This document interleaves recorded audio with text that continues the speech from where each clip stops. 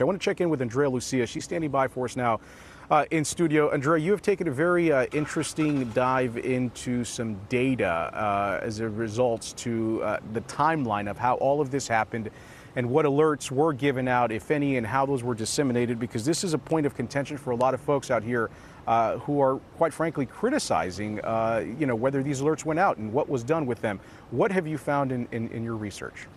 Yeah, well, Ken, the National Weather Service certainly knew and communicated that there was a possibility of flooding, but let's break down the timeline. For days before the catastrophic flood, the National Weather Service was tracking the chance of rain. At 3:30 a.m. on July 3rd, it warned of potential isolated flooding. And at 2:30 that afternoon, more than 12 hours before the floods, it issued an official flood watch for western portions of the hill country, including Kerr County. It forecast one to three inches of rain was possible, but also warned it couldn't rule out isolated areas seeing as much as five to seven inches. The first flash flood warning came at 11:42 p.m. for Medina, Texas, just south of Kerr County, urging people there to move immediately to higher ground. And by 1:14 a.m., flash flood warnings went out to Ingram and Hunt as well, where several summer camps, including Camp Mystic, are located.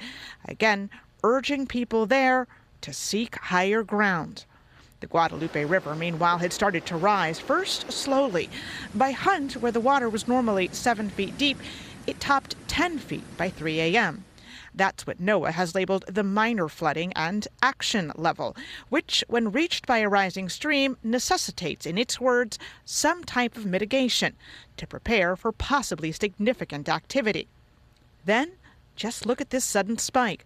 Within 10 minutes, the river went from minor flooding stage to moderate flooding stage, and less than an hour later to major flooding, where NOAA calls for significant evacuations of people to higher elevations. At 4:23 a.m., the National Weather Service warned of a flash flood emergency. At 5:10, it reported the river in Hunt had reached the second highest height on record and warned of a dangerous and life-threatening event. By the time the Kerr County Sheriff's Office and the Kerrville Police Department began posting alerts, the river in many places had already peaked. Yes, to reiterate, the National Weather Service warned early the day before about the potential for flooding. It warned more than an hour, almost two hours before, that people needed to seek higher ground. How those messages were reaching people, though, and even whether if they were reaching people. Uh, that is a whole other matter that we are looking into, and there's certainly evidence that communication was lacking. I'll give you one example.